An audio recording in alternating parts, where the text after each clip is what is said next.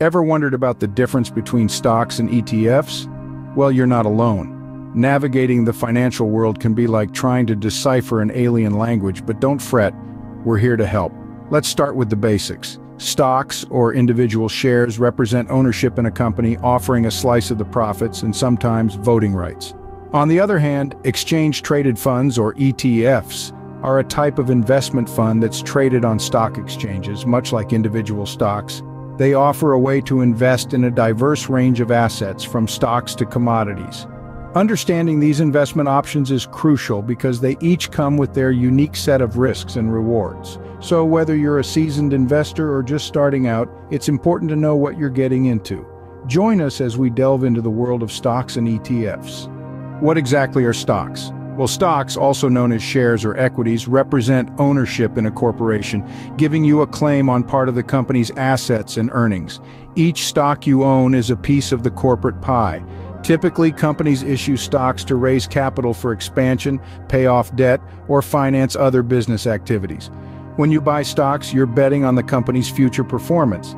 If the company does well, its stock price may rise, and you could sell your shares for a profit.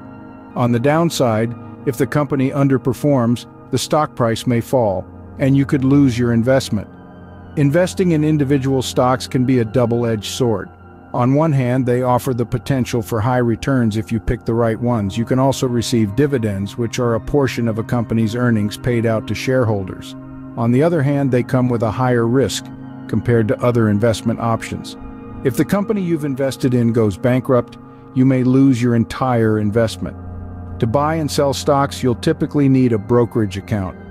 Today, there are numerous online platforms that make this process straightforward and accessible to everyone.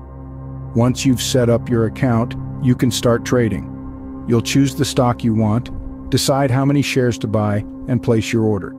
Investing in stocks can be rewarding, but it's important to understand the risks involved. The value of your investment can fluctuate based on a variety of factors, including the company's financial health, market sentiment, and broader economic conditions. That's why it's essential to do your homework and make informed decisions. In essence, stocks can provide an opportunity to grow your wealth and potentially outperform other investments over the long term. But they also require a willingness to accept a higher level of risk and the possibility of losing money. Now that we've looked at stocks, let's turn our attention to ETFs. So what are exchange-traded funds or ETFs? Picture a basket. Now fill that basket with a variety of different fruits. In the world of finance, that basket is an ETF, and the fruits are different types of investments like stocks, bonds, or commodities. An ETF tracks a specific index, sector, commodity, or asset. It's like buying into a ready-made portfolio, mirroring the performance of the assets it contains. One of the key benefits of ETFs is their innate diversification. Since each ETF holds a collection of different investments, it helps spread out the risk. Let's go back to our fruit basket. If one type of fruit, let's say the apples, didn't do so well, you still have oranges, pears, and strawberries to balance things out. The same applies to an ETF. If one stock within the fund underperforms, the others can help offset the losses. This diversification provides a level of risk management that's harder to achieve when buying individual stocks, but there's more. ETFs are also known for their liquidity. They're traded on exchanges just like individual stocks, meaning you can buy and sell ETFs throughout the trading day at market prices. This gives investors the flexibility to react quickly to market changes. And how about costs? ETFs typically have lower expense ratios than mutual funds, making them a cost-effective choice for many investors. Plus, because you're buying a single fund rather than multiple individual stocks, transaction costs can be lower. So, how does one go about buying and selling ETFs? The process is similar to trading individual stocks. You'll need a brokerage account, and from there you can purchase ETFs during trading hours. It's as simple as searching for the ETF you want, entering the number of shares you wish to buy or sell, and executing the trade. With a good understanding of both stocks and ETFs, we can now compare them. How do stocks and ETFs stack up against each other? Let's take a closer look at the risk and return profiles of both. Individual stocks can offer potentially high returns if you pick a winner, but they also carry a higher risk. You're putting all your eggs in one basket, so to speak, and if that company doesn't perform well, your investment could take a hit. ETFs, on the other hand, spread your investment across a wide range of companies, which can reduce risk.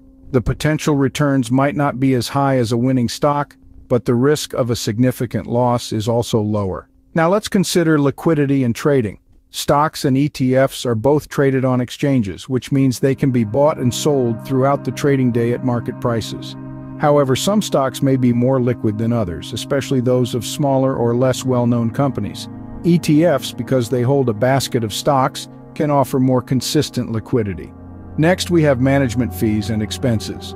When you invest in an ETF, you'll typically pay a management fee known as the expense ratio.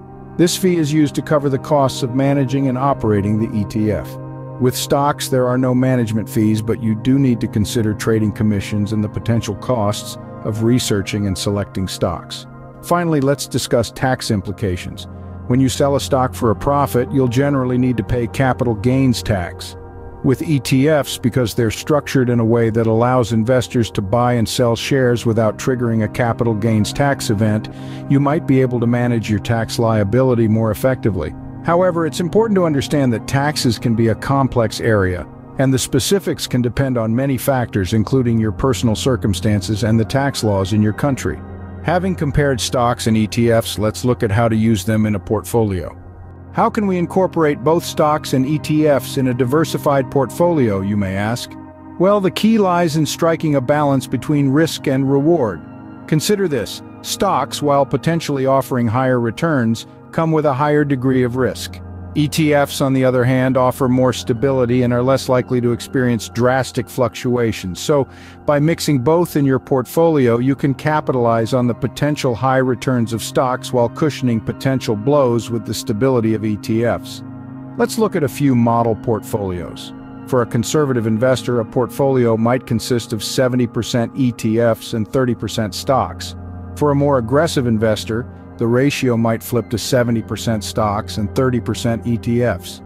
The key is to tailor your portfolio to your personal risk tolerance and financial goals.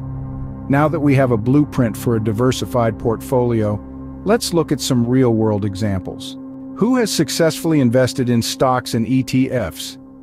Let's delve into some real-world examples. You've probably heard of Warren Buffett, one of the most successful stock investors of all time. Buffett's strategy is simple yet effective. Buy and hold high-quality companies for the long term. His company, Berkshire Hathaway, has consistently outperformed the market, turning modest investments into vast fortunes. On the other side of the coin, consider the Vanguard S&P 500 ETF. This ETF, tracking the performance of the S&P 500 index, has delivered impressive returns for its investors. It's a perfect example of how ETFs can provide broad market exposure and diversification, reducing risk while still offering attractive returns. But remember, not all investments are successful. There are countless stories of individuals who've lost money in the market due to poor decision-making or lack of diversification. It's these real-world examples that remind us of the importance of informed investing. As we look to the future, what trends should we keep an eye on? What does the future hold for stocks and ETFs? As we gaze into the financial crystal ball, we see emerging trends reshaping both stock and ETF markets. The advent of technology is not just revolutionizing our daily lives, but also the investment landscape. Artificial intelligence, blockchain, and robo-advisors are becoming the new normal. It's an exciting era for future investors filled with opportunities yet to be discovered.